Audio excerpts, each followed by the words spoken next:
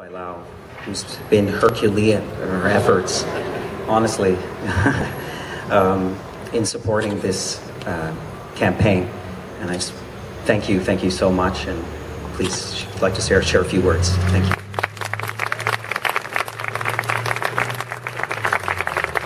My pleasure. I'm going to miss our monthly meetings with uh, 20 people around the table to make sure that this was going to come to fruition. Um, it's great to see so many people here today, um, and it's even greater to recognize so many faces. Um, it just proves how the arts community comes together around such important projects such as this one, but also as this community comes together. Let's not forget that arts has been in this neighborhood for a long, long time. To the point that it started attracting developers to this neighborhood. But the community was smart enough to make sure that they could coexist and that we could have some benefits coming out of uh, these new buildings and welcoming a new neighborhood while continuing to have the arts in here. And that's why I couldn't go without thanking the residents of this neighborhood.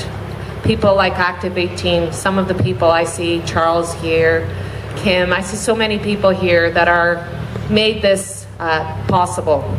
And I see the former councillor of the area, Adam Giambrone here. Thank you, Adam, for joining us today. This all started while he was here. And I would like to acknowledge our MP as well, Andrew Cash. Thank you for joining us today as well.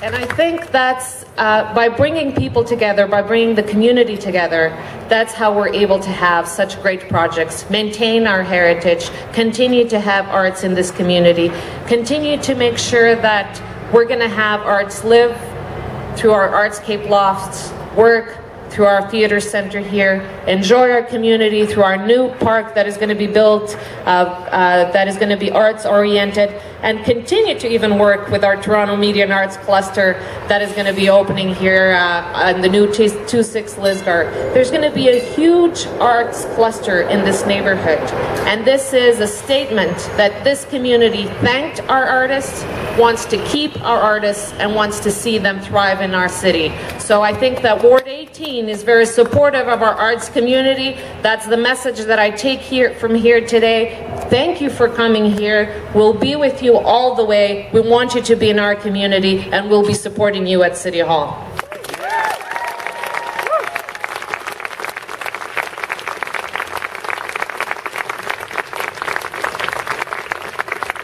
Um, uh, the mayor asked me to uh, bring a scroll on his behalf because he couldn't make it to the event. So, Frank, I'd like to present um, members of Toronto City Council uh, extend warmest congratulations to the Theatre Centre on the official groundbreaking for its new centre at the former Carnegie Library. Toronto is strong, vibrant and progressive, due in large part to the creativity and talent of our city's residents. The Theatre Centre develops, develops presents and produces live performances is and is committed to providing a space for artists to make their artistic vision a reality. Today's groundbreaking ceremony at the former Carnegie Library will provide a theater center with a permanent home and allow artists to thrive in one of the city's historic buildings. Best wishes for much success. Mayor Rob Ford, Councillor Ana Bailao.